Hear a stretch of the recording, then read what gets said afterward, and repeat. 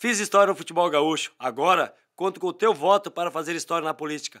Faça um gol nessa eleição. Vote 40009 e dá Alessandro Sotile.